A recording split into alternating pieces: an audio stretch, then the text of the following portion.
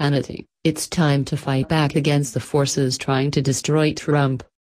In his opening monologue tonight, Sean Hannity called on supporters of President Donald Trump to come together and fight back against those who are trying to destroy the president.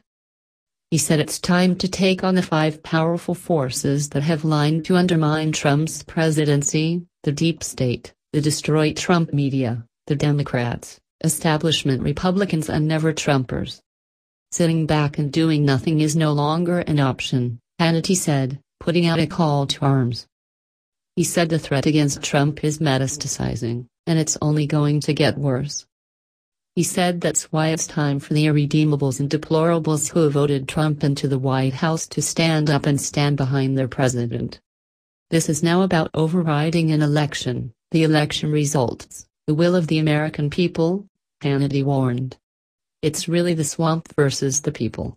And the swamp is fighting hard. Watch more above.